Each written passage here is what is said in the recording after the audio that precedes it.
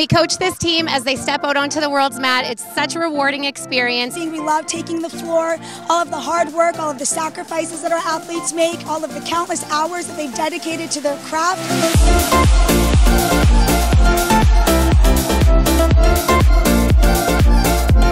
You get to see them just light up the stage and do what they do best. They get to showcase that. They get to shine, they get to show off, and their confidence just exudes.